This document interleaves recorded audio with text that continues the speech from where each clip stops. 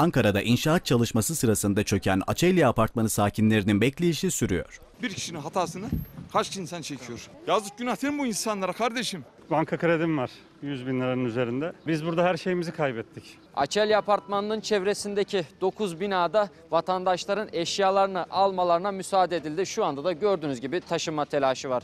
Evim yıkıldı ben ev bulamadım.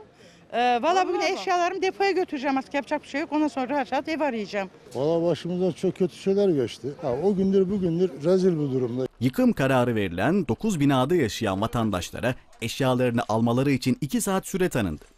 Bina sakinleri eşyalarını apar topar kamyonlara yükledi. Şu anda 2 saatlik bir zamanımız var. 2 saat sonra bitiyor zaten işimiz de. Cebeci'de bir ev buldum ona gidiyorum şu anda. Eşyamızın yarısını yükledik. Yarısı kaldı. Yani inşallah yarım saate kadar bitecek eşyamız.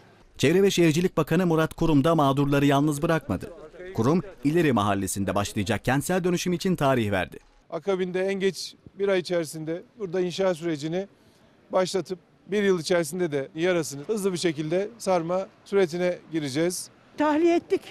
Ettik. Ev tuttuk gidiyoruz oğlum. Başka yapacak şey ama paramızı yatırdı. Allah onlardan razı olsun. Binaların çökme ve kayma riskine karşı da tedbirler alınıyor. Bölge lazer tarayıcılarla 24 saat izleniyor. Açelya Apartmanı'nın çevresindeki binalarda kayma ve çökme riski var. İşte bu hareketlilikte hemen yanımda görmüş olduğunuz lazer ölçüm cihazıyla ölçülüyor. Bu cihazın sonuçları merkeze gidiyor. Merkezde de herhangi bir risk durumu detaylı bir şekilde inceleniyor. 9 binanın boşaltılmasının ardından kontrollü yıkım yapılacak. Mağdur vatandaşlara TOKİ kanalıyla yeni konutlar inşa edilecek.